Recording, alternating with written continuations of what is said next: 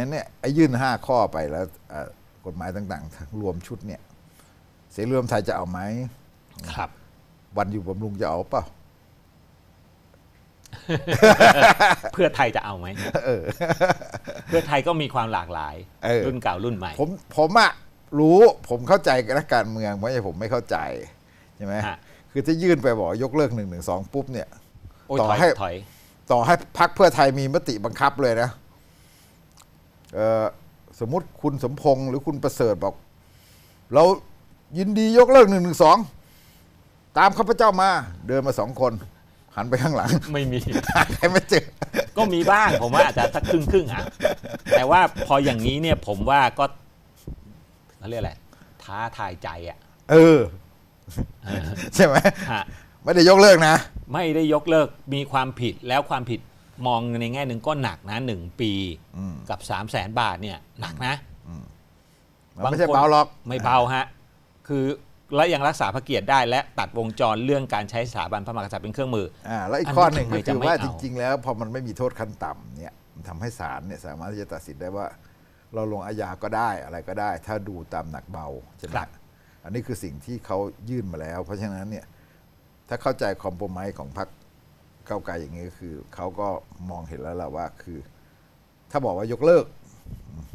มันก็มันขัดตลักด้วยคือ คือกษัตริย์กับบุคคลธรรมดาเนี่ยครับบางทีมันก็ต้องมีลักษณะของการคุ้มครองพิเศษอยู่บ้างอ่าต่างประเทศเขามีครับที่สมีลิมแต่เขาพูดไม่อะใช้แต่เขาไม่ใช้ครับเท่านั้นเองฮะเพราะเขาเห็นว่ามันไม่เป็นผลดีของเราก็คือเขียนไว้แล้วคุณก็คอยดูแล้วกันว่า มันควรจะใช้หรือไม่ใช้อะไรอย่างเงี้ยใช่ไหมฮะเนี่ยคือมันก็ควรจะเป็นลักษณะอย่างนั้น ครับ ซึ่งอันนี้คือลักษณะของการที่แบบว่า พอยกเลิกก็มันมันก็จะมีปัญหาในเรื่องหลักหลักที่ว่าเอ่อพระกษัตริย์กับประชาชนทั่วไปอาจจะแตกต่างอยู่ แต่ว่าเสร็จแล้วขณะเดียวกันก็คือแบบก็ให้โทษเบาอะไรอย่างเงี้ยดูซิว่า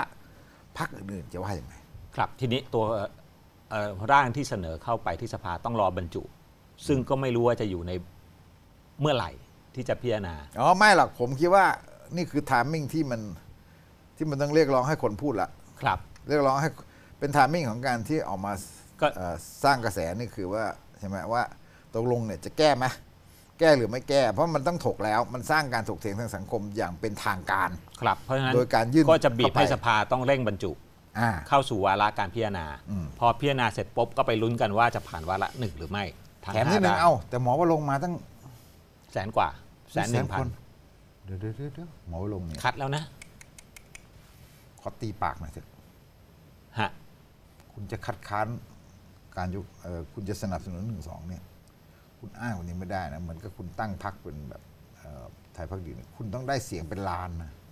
เข้าใจปะคุณเล่นเรื่องแบบนี้คุณต้องได้เสียงเป็นล้านนะแสนหนึ่งไม่ได้นะ นี่ประวิตรประวิตรโรจนพฤกษ์บอกไอโอช่วยทวิตกันรัวๆหน่อยบอกแฮชแท็กสนับสนุนหนึ่งสองนะฮะทวิตพบเนี่ย มันยังมีแค่สิบสี่เคเองพวกไม่เอานี่ขึ้นไปตั้งแบบ ยกเลิกนี่ขึ้นไปตั้งร้อยเจ็ดสิบสองแล้ว ครับ สู้กันไม่ทันฮะเอในอสู้ไม่ทัน ในโซเชียลมีเดียฮะก็ติดตามกันต่อนะครับ ว่าเรื่องนี้จะบรรจุวาระเมื่อไหร่และจะผ่านวาระหนึ่งหรือไม่นะครับ ก็สถานการณ์ตอนนี้ชุดกฎหมายตัวนี้มีความจำเป็นอย่างยิ่งยวดนะครับ